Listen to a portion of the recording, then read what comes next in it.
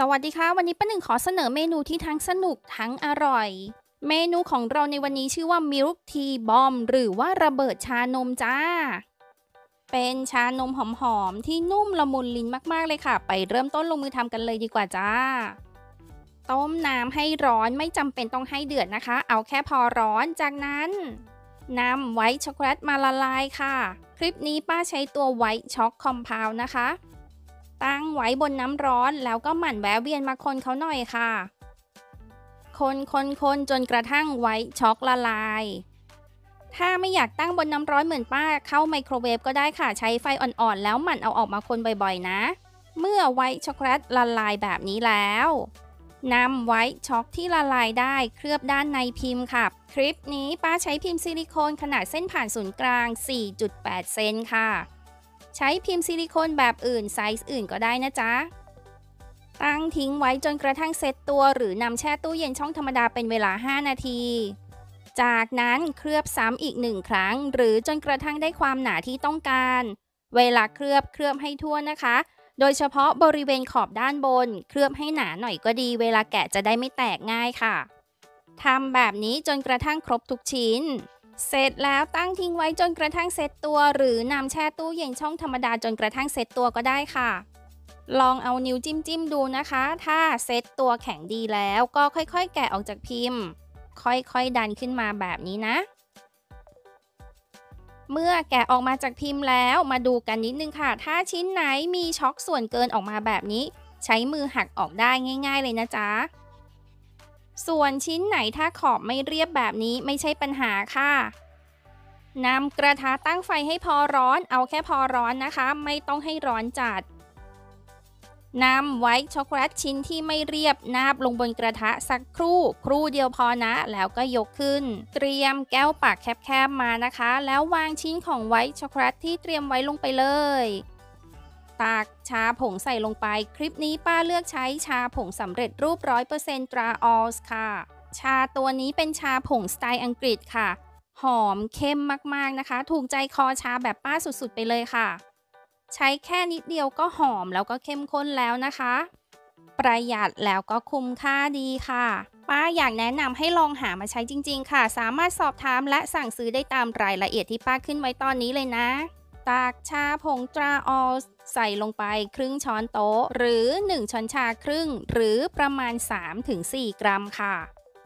ถ้าใครนึกรสชาติไม่ออกชาตัวนี้เขาจะคล้ายๆ กับชาเนสทีนะจ๊ะ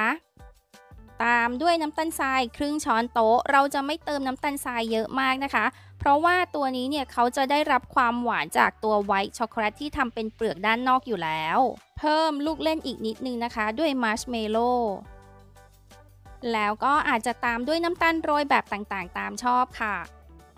นำ white chocolate อีก 1 ชิ้นวางประกบด้านบน แล้วนำตัว white chocolate ที่ละลายไว้นะคะ ที่ยังเหลวๆอยู่ค่ะ ใส่ถุงบีบหรือถุงน้ำจิ้มแบบนี้ก็ได้ ตัดเป็นรูเล็กๆนะคะ แล้วก็บีบลงไปบริเวณรอยต่อให้ทั่วทั้งชิ้นเลยนะคะ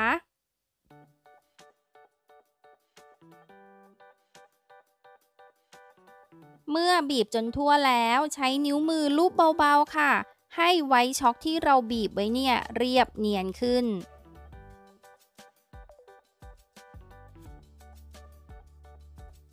จริงๆทำแค่นี้ก็เสร็จเรียบร้อยแล้วนะคะ พร้อมใช้งานแต่ว่าไม่ได้ค่ะ เราต้องเพิ่มสีสัน เพิ่มความตะมุตะมิให้กับมิลทีบอมของเรา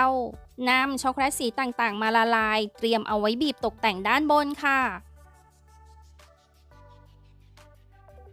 บีบบีบบีบบีบค่ะ แล้วก็โรยน้ำตาลตกแต่งแบบต่างๆ ตามชอบได้เลยนะจ๊ะ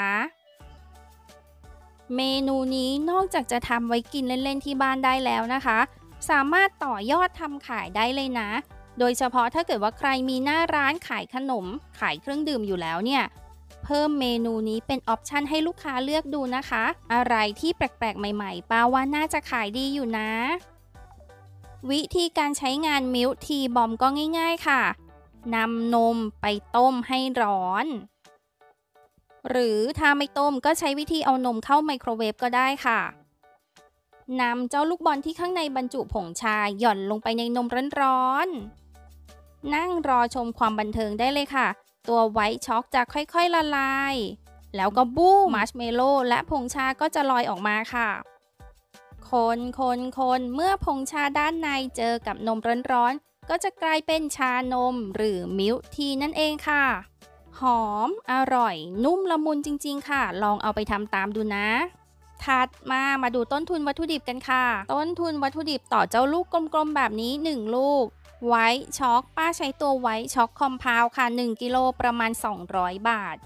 ป้าตีไป 5 บาทนะคะราคานี้รวมที่บีบตกแต่งด้านนอกไปแล้วนะ เพราะว่าที่บีบตกแต่งด้านนอกเนี่ยป้าก็ใช้ตัวช็อกคอมเพาวเหมือนกันค่ะ ชาผงสำเร็จรูปตราออลป้าตีไปว่าใช้ไป 4 กรัมนะคะ ถ้าสั่งจากช้อปปี้1ซอง 100 กรัมเนี่ย ราคาจะอยู่ที่ 210 บาท อันนี้รวมค่าจัดส่งแล้วนะคะ ใช้ไป 4 กรัมก็เท่ากับ 8 บาท 40 สตางค์น้ำตาลทราย 15 สตางค์มาร์ชเมลโล่ แล้วก็น้ำตาลโรยที่ใส่ไปด้านในนะคะ ตีไป 1 บาท น้ำตาลโรยที่โรยโรยแปะแปะด้านนอกนะคะ ตีไป 2 บาทใครใช้เยอะ ใครใช้แบบแพงตรงนี้บวกเพิ่มกันเองนะจ๊ะ รวมต้นทุนวัตถุดิบต่อลูกค่ะจะอยู่ที่ 16 บาท 55 สตางค์